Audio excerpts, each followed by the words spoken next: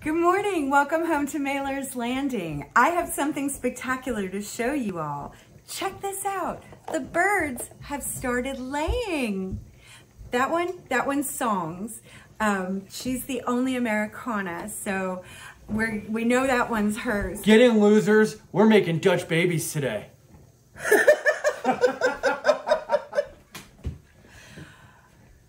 So we'll use some of these beautiful eggs. Come on along. Let's make breakfast. We're gonna make a Dutch baby, which is a lovely fluffy pancake that you start on the stove and you finish in the oven. And we've got all our stuff here. So I don't know about you, but I am dying to crack into these eggs. All right, cool. All right, so we need a little bit more than a half a cup. I've got my measure here. We're gonna crack them into here in case anything's weird, um, and then pour them into here to measure. Let's do it. Cool.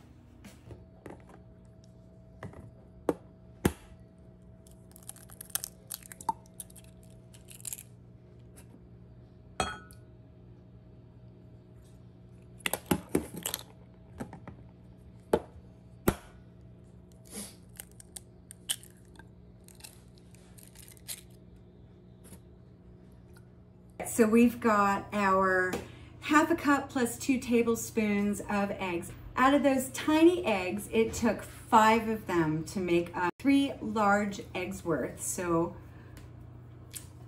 I'm really excited about this. Yeah. So we're gonna get this into the blender with half a cup of flour, a tablespoon of sugar, and a half a cup of milk. Let's get blendy.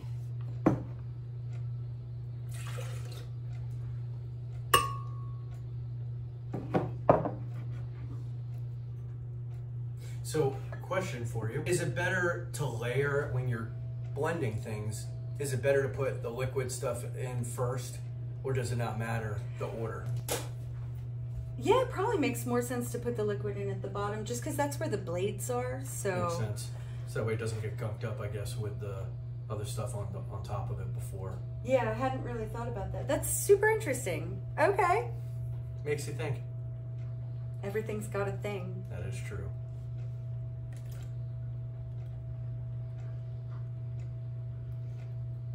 Those are our bird's eggs. How cool is this? So I'm gonna pulse this for a moment and then I'm gonna blend it. Here we go.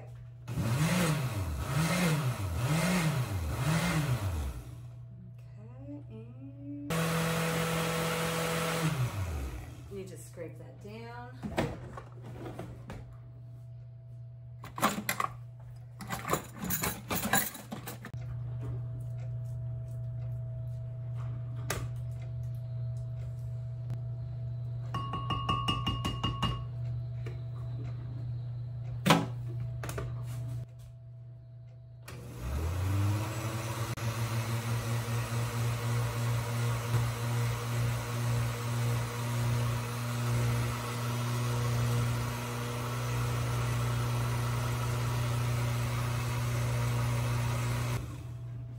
Okay, that's it. That's really all that's going on here.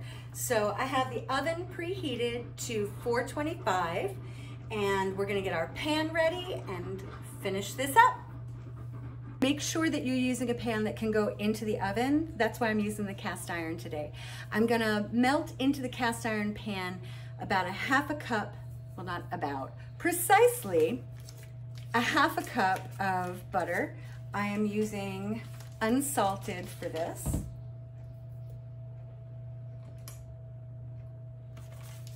And we're gonna let that melt down. Our butter is nice and foamy. And I'm going to pour our business right into here.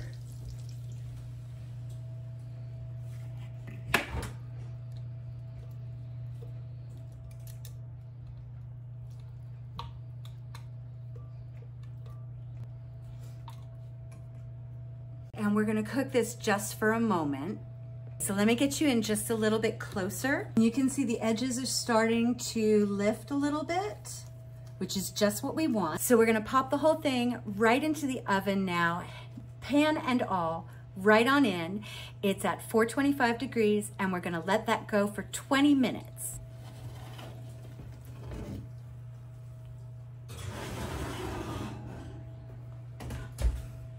Okay, she's in. So we will be back in 20 minutes. We're gonna turn down the heat at that point and let it go another five minutes. Ooh-wee, look at that puffy business. So we're gonna turn down the heat to 350 and give it five more minutes. All right, let's get it out of the oven. Come look.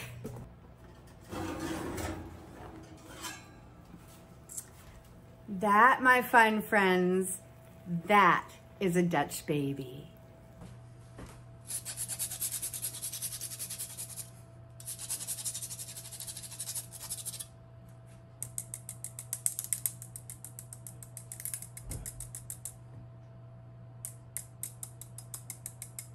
Okay.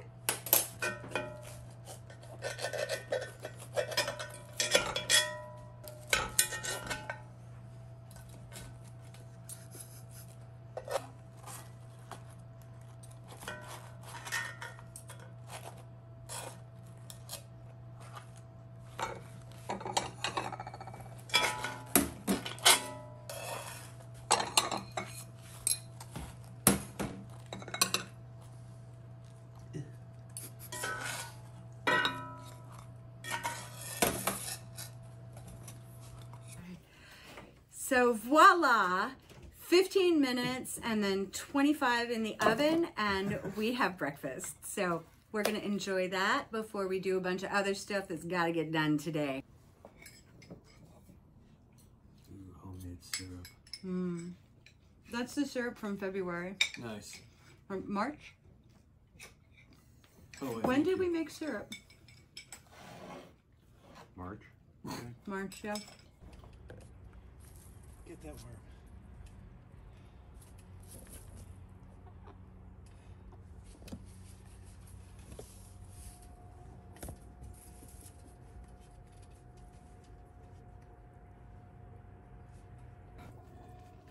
So we're out here with Cookie. Thank goodness we're not in my guest room and she's doing so much better. Say hello. Say hello. You can see the tip of her beak is almost all grown back.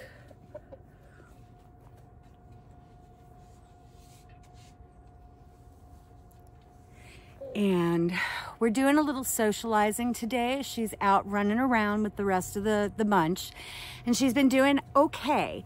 Um, we've got a squirt gun employed if anybody, if anybody tries to pick on her. Um, the next step to getting her out of the guest room is to have a space of her own in the coop. So Bill right now is building us a door to separate the coop into two spaces and then we'll move her crate down so she's got a place to sleep at night too. And uh, hopefully, little by little, where they'll be able to see each other and interact with the uh, door in the way, um, we can get this flock back together.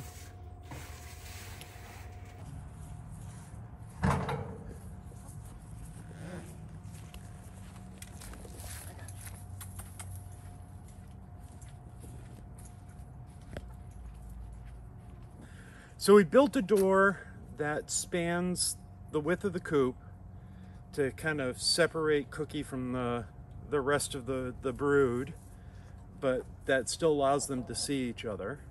So it's just, it's chicken wire in a wood frame and we've got some hinges on it. So we're gonna screw it in place and then we can keep them separated. And when we wanna bring them together, we just open the door and let them socialize. So let's get that put in and see how it works.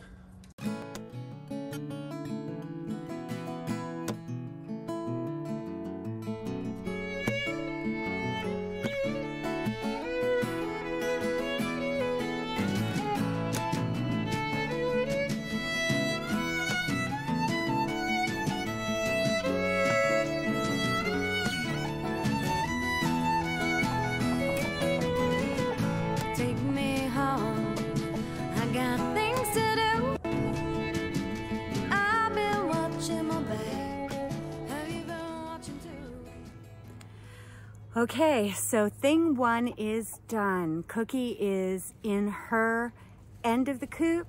The other five birds are in their end of the coop. So the last little bit of getting Cookie outdoors and back into the flock is a place for her to sleep at night because the way the coop is situated, there's no nest box for her on this end. So we've brought out her crate from upstairs when she was a guest in our guest room. Bill is wrapping it in chicken wire so that it's secure from predators. And then we'll put a tarp on top so she's got a place to be in the dark at night. Tonight is going to be the first night that she's back out with her flock. So think good thoughts, think good thoughts.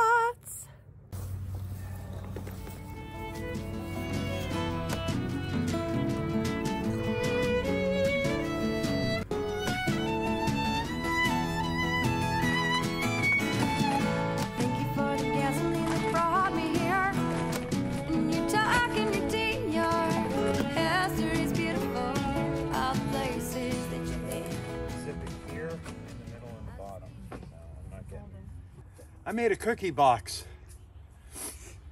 We took the kennel that Cookie was staying in upstairs, wrapped it in chicken wire to keep pests out and critters out, and then covered it in part of a tarp so she would have a dark, quiet place to sleep at night.